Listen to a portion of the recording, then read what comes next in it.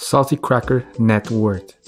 Salty Cracker is a YouTuber who makes political news videos with predominantly right wing opinions. He has another channel under the name Mrs. Salty, created on June 19, 2019.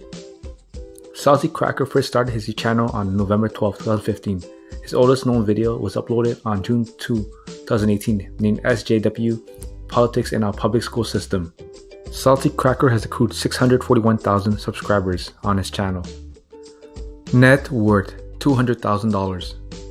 YouTube ad revenue 4.87 million views per month.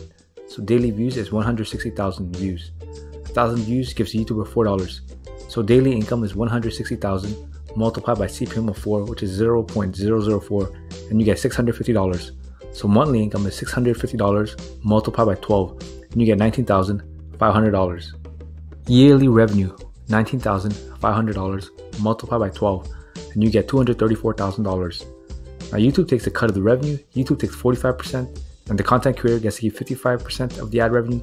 So, after YouTube cut, you have to do $234,000 multiplied by 0.55, and you get $128,700 per year just from making YouTube videos, which is amazing.